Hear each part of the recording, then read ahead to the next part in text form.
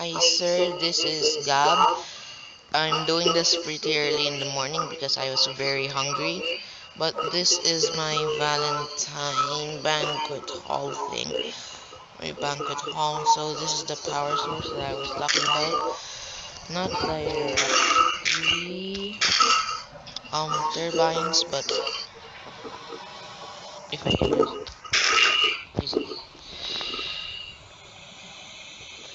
Why can't I get it?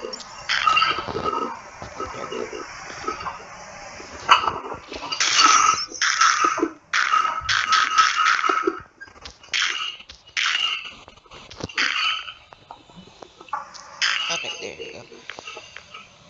You see, there are pistons holding up the air, and when people um on the top floor press on them, the air is combust is combusted or pushed out into the turbines right out here.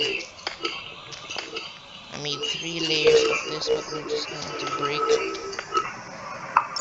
These are the turbines connecting to the top floor so that the top floor will be powered. So I think, yeah, sir, this is what I have. So thank you for watching and I hope you have a very good Christmas with your family.